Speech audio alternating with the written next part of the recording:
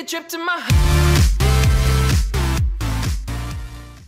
Freunde und herzlich willkommen hier bei Archie Gaming, Flo wieder am Start, heute mit einem Video und zwar zu meinem Team. Heute kein 19 Uhr Content, das liegt daran, dass ich ab heute im Urlaub bin. Wahrscheinlich Freitag oder spätestens dann Samstag nächste Woche geht es weiter mit dem Content, aber ich dachte wir nutzen die Zeit, ihr habt dann regelmäßig trotzdem täglich hier Content und wir machen mal ein Video zu meinem Team. Es wurde mehrfach gewünscht, wie sieht dein Team aus? Wie sind deine Taktiken? Und da möchte ich heute eine Antwort euch geben und ich hoffe, das Ganze feiert ihr natürlich. Bevor wir reinstarten, immer die kurze Erinnerung, gerne Liebe da lassen. Zerstört euch die Like-Button, Freunde. Ich weiß, ihr es könnt. 500 Likes heute mal wieder. Das Like-Ziel. Falls ihr neu sein solltet, gerne die Glocke aktivieren. Hier gibt es täglich FIFA-Content und ich habe gesehen, für die Leute, die immer einschalten, 70% von den Leuten, die immer einschalten, haben noch kein Abo dagelassen. Also holt das sehr, sehr gerne nach und wie immer eure Meinung dann auch gerne zum Team. Bleibt fair, Friends. Ähm, auf jeden Fall äh, in die Kommentare und natürlich lasst mich gerne wissen, wie euer Team aussieht. Formation gerne mal wissen lassen und eure Top 3 Spieler, vielleicht auch die ganze Formation, wie ihr lustig seid, gerne mal in die Kommentare schreiben. Würde mich auf jeden Fall extrem auch interessieren. So, wir gehen das Ganze jetzt durch und starten natürlich erstmal mit dem Team an sich. So, die Startformation, nicht Ingame-Formation wohlgemerkt, ist hier die 4-1-4-1. So, Kurz vorweg, bevor wir hier in das Team gehen, die Frage nochmal nachgehen, warum habe ich in den letzten Wochen nicht schon ein Video gemacht zum Team? Ist mehrfach gewünscht worden. Das Problem war, vielleicht habt ihr auch das Problem gehabt, dass eben zur Team of the Season Zeit, ja, was jetzt sechs, sieben Wochen lang äh, ging, äh, sich quasi, ja, alle zwei, drei Tage beziehungsweise jede Woche das Team immer und immer verändert hat. Das heißt, wenn ich euch ein Video gemacht hätte vor drei Wochen, dann wäre das vielleicht zwei, drei Tage später wieder nicht aktuell gewesen. Zumindest was das Team äh, betrifft. Deshalb gehen wir jetzt auf ganz entspannter Basis rein. Ich habe jetzt die Zeit dazu, das Video für euch zu machen und vorzuproduzieren. Und deshalb fangen wir an mit der Torwartposition. Falls ihr übrigens äh, meine Stories während des Urlaubs sehen wollt, gerne mal Links unten in der Beschreibung abchecken. Äh, Instagram und auch Twitch ist da am Start, also gerne auf jeden Fall mal vorbeischauen. Kurz vorweg, mein Team, was ich glaube Januar oder Februar zuletzt gezeigt habt, auch den Link zu diesem Teamtour, nennen wir es jetzt einfach mal, äh, zu meinem äh, Team damals im Januar-Februar. Link ist auch in der Beschreibung. Also, wir fangen an mit dem äh, Torwart. Und äh, da sieht es wie folgt aus, für die, die ja schon mit dabei sind. Äh, Testing. Also, den haben wir gezogen. Und zwar ist er Erstbesitzer an Trail. Und da kommen wir schon zum nächsten wichtigen Punkt vielleicht, bevor wir weitermachen mit dem Team. Es ist eine untradable Road to Glory dieses, dieses Jahr, die ich zocke. Ich zocke ja immer sonst generell Road to Glory. Ähm, vielleicht auch, eigentlich auch schon letztes Jahr, äh, wenn wir wenn wir es ehrlich nehmen, Untrail Road to Glory. Also wirklich nur die, die ich ziehe, die spiele ich auch. Und äh, die sind alle wirklich, die wir jetzt hier komplett haben, ein untradable Squad. Ja, es ist ein komplett untradable Squad und es ist eine Road to Glory. Und dafür ist auf jeden Fall Stegi schon mal wirklich eine 10 von 10. Er hat jetzt 90 Games gemacht, seitdem wir ihn gezogen haben. Team of the Season Award Gewinner. Und der ist hundertprozentig. Mein Torwart war schon vorher mein Torwart, als ich ihn als Team of the Season gezogen habe. Ähm, genau, und der wurde sich quasi jetzt dann nochmal zum ultimativen Team of the Season abgegradet, eben zum Award-Winner. Dann geht es weiter auf der Rechtsverteidigerposition. Vielleicht jetzt für den einen oder anderen erstmal ein bisschen irritierend. Wir hatten lange Carlos Alberto. Ich erzähle euch jetzt auch mal, was so die letzten äh, Squads so am Start war. Carlos Alberto hat insgesamt 357 Games gezockt. Den habe ich aber jetzt tatsächlich ersetzt. Nicht mit einem Klaus, nicht mit einem Jesus Navas, der hier unter meiner Facecam ist, sondern, ihr seht hier unten links, ein Frimpong. Den haben wir mich in Rot am Start und äh, deshalb eher Rechtsverteidiger. Das liegt aber auch daran, dass wir aus dem Bundesliga-Team of the Season unter anderem auch diesen Kollegen gezogen haben und zwar De Licht ist am Start. De Licht, mein Innenverteidiger Nummer 1. So viele Games hat er noch gar nicht. Oh mein Gott, er hat doch, doch schon sehr, sehr viele Games. Sieht man mal, wie viele Games ich schon gezockt habe, seitdem wir ihn am Start haben. 224 Games tatsächlich, das ist absolutes Wahnsinn. Ähm, und dann gehen wir auf die nächste IV-Position. Und da ist in Anführungsstrichen ein altbekannter, wieder Holländer, und zwar aus dem 10 Münzenback gezogen, ein Koman. Untradable natürlich auch eher am Start. Vorher hatte ich Koman und auch sehr, sehr lange Zeit dann ein Vidic in der IV. Kim Pembe haben wir zum Beispiel auch gemacht. Also, ihr seht, der hat noch kein Game gemacht. Ähm, natürlich haben wir x-beliebige Optionen. Jetzt zuletzt noch Morning hier gezogen. Bremer haben wir hier ähm, in, in Rot. Aber Koman, weil er auch Holländer ist, haben wir hier eine IV-Position und damit die zwei IVs, die Licht und ein Koman am Start. Dann haben wir auf der LV-Position ja, die Qual der Wahl, wenn wir das mal so nennen wollen. Und zwar haben wir Jordi Alba, die SPC, äh, kam raus, beziehungsweise erst hatte ich Balde in Rot, ja, und dann kam die SPC raus. Und insofern, ja, Jordi Alba oder Balde Persönlich, ich, weil ich es nicer finde, haben wir jetzt hier Balde in Rot am Start. Ähm, ist auch ein bisschen leicht schneller. Jordi Alba können wir aber theoretisch auch 1 zu 1 stellen. Hat bei mir jetzt aber erst auch 8 Games gemacht. Hat mich jetzt in den 8 Games nicht überzeugt. Und deshalb bin ich bei meinem altbekannten Balde, der jetzt schon 173 Games gezockt hat. Und deshalb ist der nach wie vor mein Linksverteidiger. Dann gehen wir weiter äh, erstmal auf die RM-Position. Das ist nämlich ganz, ganz wichtig. RM jetzt seit frischem und neuen am Start. 41 Games, 16 Tore, 16 Vorlagen. Ein Van Persie. Zum Start direkt am Freitag gezogen. Ihr habt es vielleicht mitbekommen zum Shapeshifter-Event und der ist deshalb jetzt hier neu am Start, wenn wir es mal so nennen wollen. Mein neu im neuen Team sozusagen und es hat sich hier und da tatsächlich seit der Shapeshifter-Promo tatsächlich dann auch nochmal sehr, sehr, sehr verändert und deshalb Van Persie auf jeden Fall auf der RM-Position. Jetzt wird es interessant, die erste ZM-Position. Wen haben wir da? Wir haben schon sehr, sehr lange auch übrigens alles anschauen. Also alles, was ihr seht, Friends, im Verein, wir können gleich nochmal kurz eine kleine Vereinstour sozusagen noch machen, ist untradeable. Wir haben den Bräune, 516 Games schon gezockt, er ist es nicht. Wir haben jetzt ganz frisch neu am Start, in Rot gezogen, zum FX Tots De Bräune auch in Rot als Team of the Season. Es wird aber eine SPC, nicht ein Opa Meccano, der 11 Games hier im Standard, sondern es wird passend zur Chemie ein Busquets, der jetzt aktuell hier auf der ZM-Position am Start ist. Genau. Und in der ZM-Position, äh, beziehungsweise jetzt ZDM-Position hier am Start ist seit gestern, jetzt haben wir gerade den 23.06., wo ich es aufnehme, drei Games habe ich mit ihm schon mal probiert, jetzt ein Sokrates. Muss ich noch ein Shadow drauf geben, aber Sokrates seit gestern Abend in meinem Squad drinne. Und ja, Friends, den haben wir gestern out of nowhere einfach gezogen. Und der nächste Untradeable First Owner, Erstbesitzer am Start. Mega. Und den wurde, der wurde übrigens ersetzt. Wir können das gerade uns nochmal anschauen. Ähm, oder ja, vorher war am Start und zwar ein Matthäus. Ja, der hat 567 Games gezockt. Untauschbar Erstbesitzer Sokrates, aber auf jeden Fall jetzt in der ZDM-Position am Start. Dann weiter auf die ZM-Position. Da ist bei mir jetzt ein Hüllet am Start. Aber Achtung, der wird später offensiv spielen. Aber jetzt in der Startformation eben als ZM hier gesetzt. Auf der LM-Position haben wir eine weitere Ikone, die wird auf den Namen Rivaldo. Da könnten wir jetzt theoretisch auch den Link stellen von dem Teamschmier her. Der ist ja ganz frisch und neu im Start, habe ich noch nicht gezockt. Ist aber bei mir auf jeden Fall gleich später auf der Bank. Auch die gehen wir durch. Und da ist dann Rivaldo aktuell vorne mit dabei. Und der hat auch schon, der ist ja seit der Full Birthday Promo quasi am Start. 417 Games tatsächlich am Start. Und jetzt die Stürmerposition, da haben wir eine 97er geratet Lewandowski-Karte in Rot. Und das der Squad.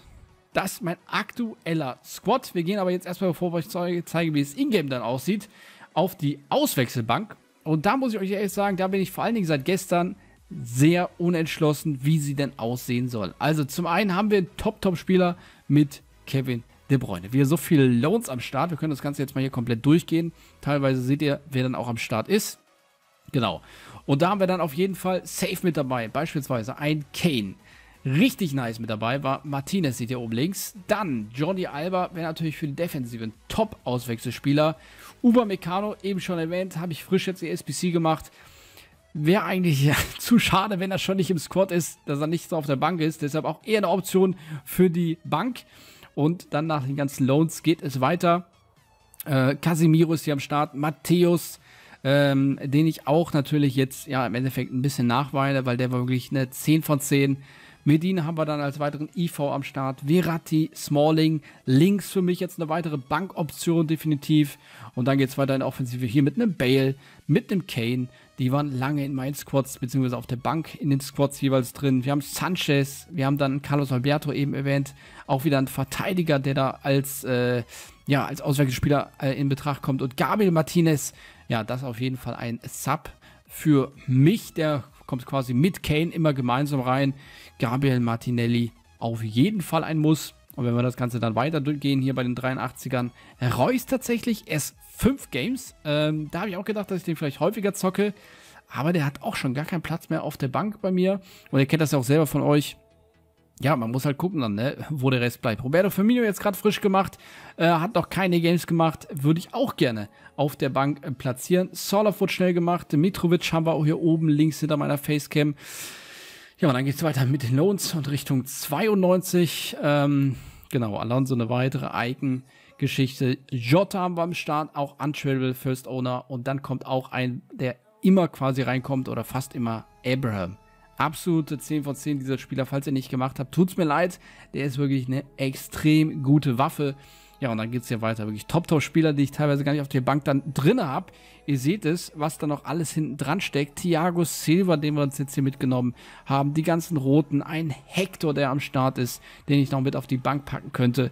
Und dann geht es rein in die 91er. Also ihr seht, es ist natürlich jetzt wirklich die Qual der Wahl die wir da jetzt haben.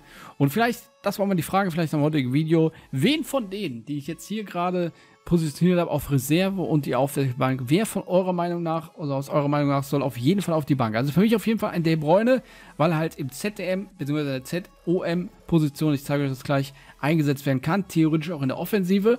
Dann haben wir Kane am Start, der für mich immer eigentlich am Start sein muss als Auswechselspieler. Martinez hatte ich lange Zeit. Ähm, Martinelli, wie gesagt, auf jeden Fall für mich auch immer mit dabei. Der könnte aber jetzt ersetzt werden durch einen Links, den wir quasi jetzt auch ersetzt bekommen haben, mit einfach 99 Passen. Matthäus, der jetzt, wie gesagt, frisch gewechselt worden ist durch Sokrates. Für mich oh, elementarer, wichtiger Spieler, fast 600 Games. Er war einfach wirklich traumhaft. Und ähm, ja, weiß nicht, ob Sokrates jetzt die Position da ersetzen kann. Wir werden uns das Ganze anschauen. Dann Upamecano, wie gesagt, wäre auch zu schade, die SPC so gemacht. Die ist so eine Top-SPC, Roberta Firmino. Und wie gesagt, der Platz wird dann leer. Abraham für mich eigentlich auch, muss auf die Bank. Dann für einen Defensivmann. Ja, es ist die Qual der Wahl. Und als Manager, um das vielleicht gerade noch zu komplettieren, bevor wir reingehen in die Taktiken, haben wir tatsächlich einen äh, Polen am Start aus der La Liga um quasi eigentlich da, ja, jetzt aktuell ja nicht mehr das Ganze dann zu komplettieren. Aber wie gesagt, aktuell mit den Links klappt es auch so. 33 Teamschmied sind am Start. So, das also erstmal zu meinem Team und quasi Verein und Auswechselmöglichkeiten. Und dann gehen wir jetzt eben zu den individuellen Taktiken. Wie sieht es da aus? Und wie zocke ich? Die Frage ist immer da und ich persönlich habe eine Offensivtaktik äh, zurechtgelegt. Das ist die 4-2-2-2 Formation. Ja, und das ist quasi eigentlich, boah, seitdem. Ist es dann FIFA 19 gewesen? Es könnte FIFA 19 oder FIFA 18 gewesen sein, also schon relativ lange. Ähm, ist es tatsächlich meine ja, erste Wahl, was Formation angeht. Und ähm, es hat sich bis dato auch nicht geändert, Schrägstrich nicht ändern müssen, weil es einfach perfekt funktioniert. Also offensiv spiele ich ein 4-2-2-2-2. Ja, und von der Taktik hat sich eigentlich nicht viel verändert. Da gehen wir nach Pressing, nach Ballverlust, 50, 51 von der Tiefe, schneller Aufbau, Läufe in die Spitze, 50 Breite. Das alles, soweit ich weiß, identisch und gleich geblieben. Das, was ich geändert habe mal, aber was ich aktuell jetzt nicht mehr ändere, war das mit den Ecken, dass wir mehr in der Offensive drin haben. Aber das habe ich wieder zurückgestellt auf 3-3. Also da ist alles, glaube ich, soweit ich weiß, ähm, ja, bei Default. Also alles wie eingestellt. Könnt ihr nochmal gegenchecken, aber das auf jeden Fall so am Start. Das, was wichtig ist, die Formation. Diese Formation ist für mich einfach die wichtige Formation und vor allen Dingen die richtige Formation. Ich hole auf ganz entspannt, wer das Team of the Seasons auch geholt, auf ganz entspannter Basis einfach die F-Siege. Das hat meiner Meinung nach komplett gereicht. Schwitzen auf 14 Siege oder noch mehr hat für meiner Meinung nach auf jeden Fall gar keinen Sinn gemacht. Ich habe es einmal gemacht zum League auch Team of the Season, da haben wir 13 Siege geholt. Aber ein Muss ist es nicht, ja. Und deshalb, wie gesagt, ganz entspannt auf die zwei Playpicks gegangen und die F-Siege geholt. Und das hat dann auch gereicht. Vor dem Team of the Season haben wir gerne mal die 14 Siege mitgenommen. Aber ich sag's euch ehrlich, Weekend League irgendwann dann auch einfach sein gelassen, weil Team of the Week Rewards, seien wir ehrlich, sind halt einfach nicht das Beste. Und dann bin ich halt einfach in Rivals gegangen, beziehungsweise habe die Objectives gemacht. Und das war auf jeden Fall sehr, sehr nice, auch in Rivals immer zu zocken. Ja, in-game sieht es eben wie folgt aus. Wir haben also die 4-2-2-2-Formation und da haben wir in der Offensive einen Hullet offensiv und einen Lewandowski. Jetzt haben wahrscheinlich schon fünf oder sechs oder viel, viel mehr reingeschrieben in die Kommentare. Wieso spielst du Hullet einfach als Offensivmann? Ich kann euch sagen, dieser Hullet ist einfach wirklich offensiv. Ein absolut maximales Biest. Und diese Formation und gerade meine Spielart und Weise die ist einfach darauf ausgelegt, dass wir in der Offensive erstens sehr große Spieler am Start haben und welche, die haben Körper haben. Und da zählt Rüllet eben dazu. Ein Lewandowski auch, der groß ist und der eben die Bälle festmachen kann. Auf den Außen haben wir dann relativ äh, schnelle Spieler, mit auf der linken Seite eben einen äh, Rivaldo und auf der rechten Seite jetzt frisch, wie gesagt, ein Van Persie, den ich da im Endeffekt auch noch am Testen bin. Auf der Sokrates-Position, äh, beziehungsweise damals Matthäus-Position, jetzt hier im ZDM, ähm, mit Busquets auf der 6. Und äh, ja, die bin ich im Endeffekt auch quasi noch als am Testen, gefallen mir aber sehr, sehr gut. Matthäus und Busquets kann ich auf jeden Fall sagen, das klappt sehr, sehr gut. Sokrates Busquets, wie gesagt, jetzt am Testen. Balde dann auf links, Frimpong auf rechts, schön mit Pace, sowohl links als auch rechts. Und dann haben wir in der Innenverteidigung wirklich Schränke auch stehen. Das klappt sehr, sehr gut, die beiden Holländer mit Koman und mit Licht. Und der Torwart Testegen habe ich viel auch schon im Internet gesehen, äh, dass die meinten, Testegen ist der schlechteste Torhüter bis jetzt, den ich gezockt habe in FIFA. Kann ich nicht nachvollziehen. Also Testegen für mich rettet der einiges und wirklich ein Top, Top, Top Torhüter. Deswegen kann ich nur wärmstens empfehlen. Von den Anweisungen, jetzt wird es auch nochmal interessant, sieht es wie folgt aus. Und zwar haben wir zentral orientieren und Abwehr überlaufen. Das ist ganz, ganz wichtig bei den Offensivleuten. Steht bei Lewandowski und steht bei Hüllet auf jeden Fall mit drin. Bei den Außen dann wiederum Ganz, ganz wichtig ist eine wirklich offensive Taktik, die ich fahre. Vorn bleiben und für Flanken in den Strafraum. Das heißt, wenn jemand auf der linken oder rechten Seite von Percy und Rivaldo dann eben über die Außen laufen, dann ist eben dann quasi, wenn der Ball an Lewandowski oder Rülle vorbeigehen, ist dann quasi der Außen direkt anspielbar und er zieht eben in den Strafraum mit rein, wenn eine Flanke, wenn irgendwas von der Seite eben reinkommt. Das genau das gleiche für Flanken in den Strafraum und vorn bleiben auch für Van Persie. Auf der 6, und jetzt wird es auch nochmal interessant, Passwege zustellen und hinten bleiben bei Angriffen, sowohl links als auch rechts. Und sonst der Rest ist Standard. Und dann haben wir, und das ist auch ganz, ganz wichtig für die Außenverteidiger, hinten bleiben bei Angriffen. Damit es eben nicht zu offensiv wird, weil sonst hast du im Endeffekt keine Restverteidigung. Ja? Der Rest ist auch Standard bei den IVs und Außenverteidiger genau das gleiche wie auch beim Linksverteidiger. Hinten bleiben bei Angriffen, damit du halt einfach eine ordentliche Restverteidigung hast. Ähm, ja, und wie ihr vielleicht jetzt auch schon hier sehen könnt, durch die Formation und durch eben diese Anweisung, ich meine, die Rollen müssten jetzt, ja, können wir gerade mal im Endeffekt, äh, ja, sind jetzt so, weil wir eben gerade den Squad gemacht haben. Ähm, ja, was ich aber noch sagen wollte, ist eben, die Anweisungen sind eben wichtig, Aufstellung wichtig und die sind eben darauf ausgeprägt, dass wir eben den Gegner, den jeweiligen, eben vor allen Dingen einige Tore reinknallen. Ja, und in dem Sinne kommen wir also relativ schnell dann zum 1-0, 2-0, 3-0 und da muss man halt darauf hoffen, dass entweder, gerade in der Weekend League ist es oft der Fall dann, dass er dann relativ schnell quittet.